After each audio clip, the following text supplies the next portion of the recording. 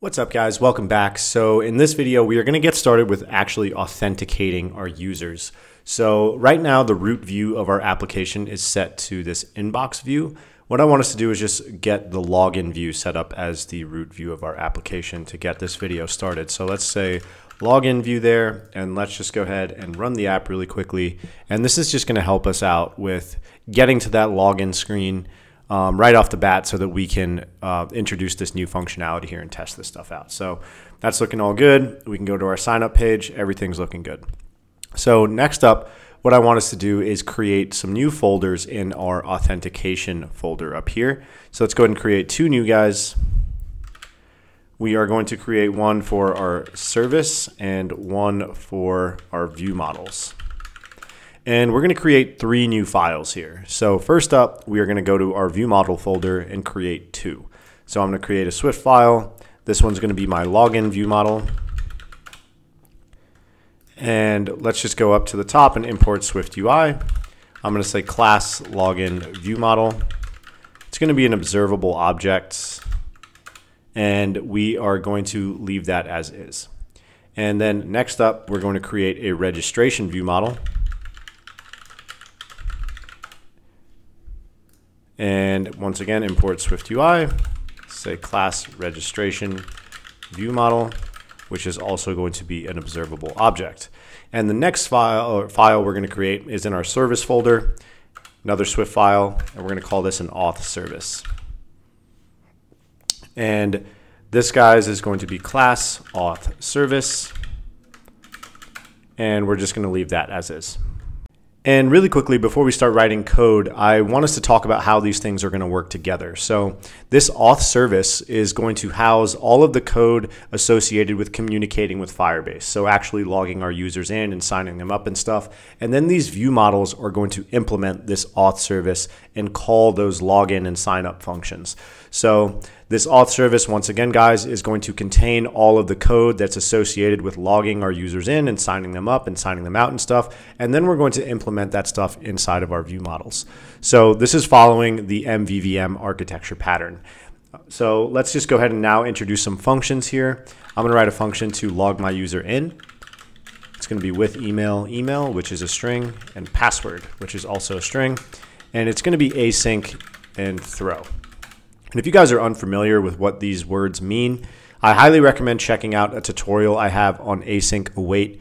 Um, it's the new way of interacting with networks or your network layer that Swift introduced, and it's really, really cool. So if you're confused about that, just go ahead and check the tutorial out there. The link is in the description to this video.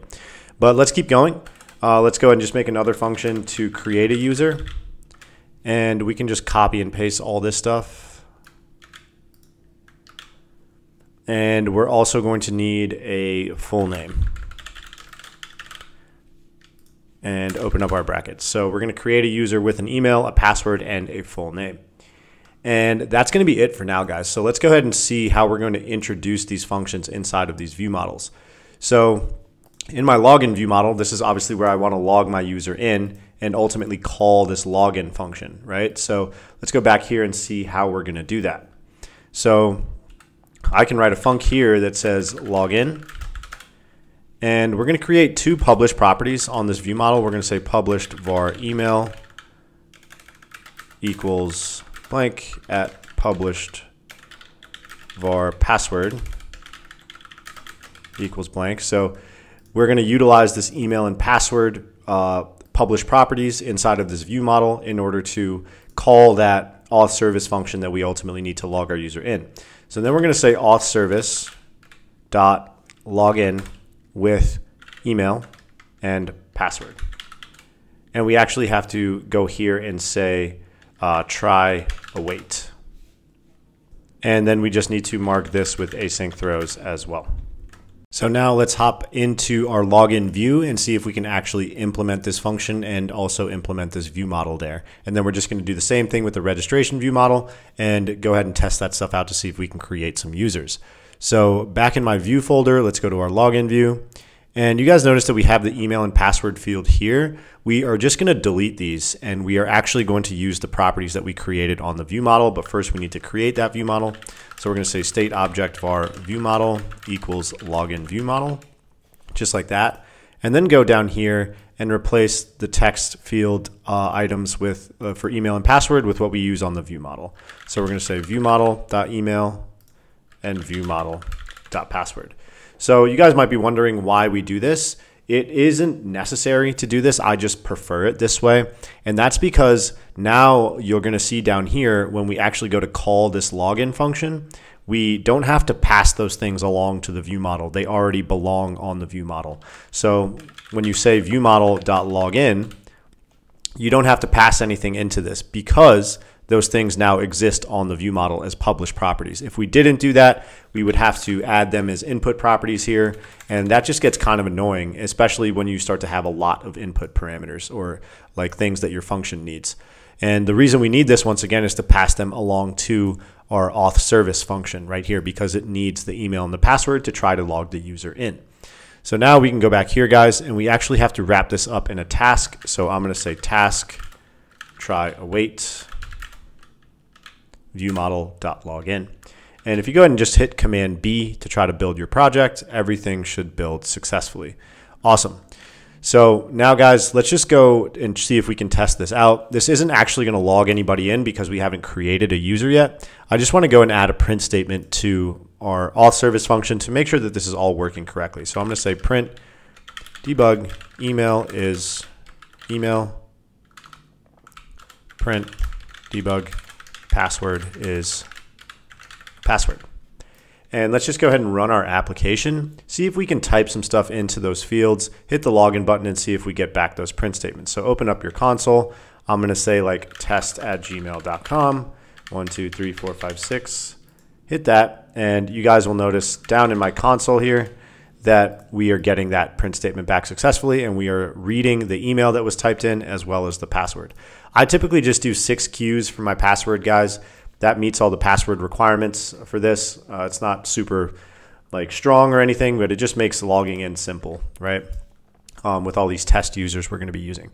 So next up, I want us to do the same thing for our create user function uh, that, that, we just did with our login uh, stuff. So let's go to this registration view model and we are going to write a function. So I'm going to, well, first we're going to create these properties that we need. So publish var email equals blank string published var password equals blank string and published var full name equals a blank string. And if you guys look at our sign up screen, that's exactly what we need from this form.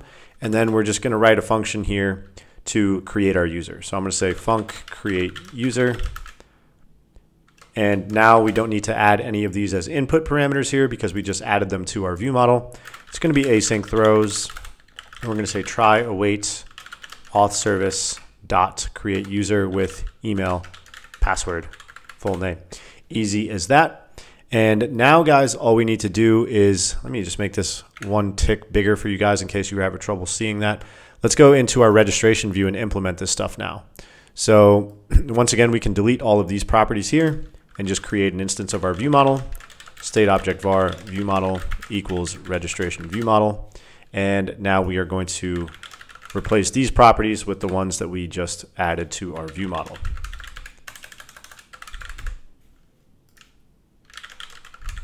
Just like so. And down here in our button handler, we are just going to create a task to try await our view model dot create user. Simple as that, guys, right? That's super clean, super easy implementation. Now um, that we have sort of the foundation of this set up in our code, what we need to do next is actually implement the backend functionality to create a user and log them in. Um, and then we need to go over what happens when that process succeeds. So what I mean by that is when I hit the sign up button here, I want that backend process to initiate, right, of actually creating a user on my Firebase backend. And then once that process completes or the user has successfully be, been signed up, I ultimately want to take them over to the root view of the application or their inbox view, right? And we need to do that with our login as well. So let's go ahead and get started with that. So let's hop back into this auth service and let's start filling out this create user function, guys. So we're going to open this up with a do and catch block. So this is all part of the async throws functionality. Basically, we're going to try to do something, and if something goes wrong, it's going to hit this catch block and show us the error. So what we're going to try to do is this. We're going to say let results equal try await, and make sure you import Firebase up at the top, guys. Uh, we're going to say auth.auth.create user with email and password. And this is the whole reason we added these as input parameters to our function here. We want to be able to pass them along to this Firebase function that requires the email and password to create our user. And if that all goes well, we're going to say print debug created user, and we're just going to say result.user.uid. So basically what's happening here is we're making this asynchronous function call and whenever it's done, if it completes successfully, it's going to store the result of that call in this property here. And then we can use that on the very next line of code. It won't go to this next line of code, however, until this uh, asynchronous network call completes. Previously, before, what we had to do was use completion handlers, and that was messy for all kinds of reasons. I'm not going to get too deep into the new async await stuff. Like I said, if you guys want to know more about that, just go ahead and check out the video uh, tutorial I have on that. Link is in the description to this video. Um, so next up, guys, if anything goes wrong, we are just going to print the error out here. We're going to say print debug failed to create user with error error.localized description. So you guys might be wondering where this error comes from. Well, because Swift is so cool, it automatically gives us access to this error inside of this catch block. Previously, what you had to do was say catch let error, but now it just automatically does that for you, so we don't have to type that out, which is pretty cool. So if anything goes wrong during this sign up process, if there's any errors, it's going to give us back this print statement. So that should be all we need to do, guys. Let's just go ahead and run our code now and see if we can test this out. So let's try to start this off with like maybe a bad email. So let's just say like test. And then we'll say, you know, type your full name and let's do like three characters for the password. Okay, then hit sign up and let's filter this console stuff out with our debug. That's the whole reason I typed that debug uh, there, guys, so I can filter out all the nonsense in the console. And you guys will notice that we get back this error message here the email address is badly formatted. So if I fix that and say test at gmail.com or something, and then try to hit sign up again because I only have three characters in my password, it'll give me a different error, which is super cool, right? It's going to say the password must be six characters long or more. So if I fix that and just do six characters like that and hit sign up, you guys notice ooh, that we get another error message, and that's because I'm already using that account. So let me just go ahead. You guys shouldn't get that. I already created it like a user with that email. So this error is indicating to me that that email address is already in use. So the error handling we get from Firebase is awesome. I'm going to say like test3 at gmail.com or something like that. And then hit sign up. And you guys notice we get back our success message. We created the user and this is their user ID. So that's what we get back as part of this result. You guys can see here that we can just use that in the very next line of code and access some information about the user we just created.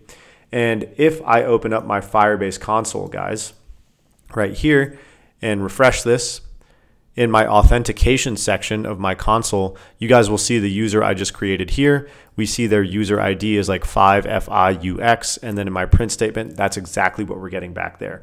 So that's super awesome, guys. We successfully created like a test user in our application. In the next couple of videos, we're going to get through the rest of this authentication process. There's a couple things we need to do. One, we need to make sure that we once the user successfully signs up, we implement some logic to show or take the user to their inbox view. And also, we need to implement our login functionality and sign out functionality as well. So in the next video, we're going to be finishing up with this authentication functionality before we actually get into sending messages to different users and stuff like that, guys. So get excited for that. We will see you there. Peace.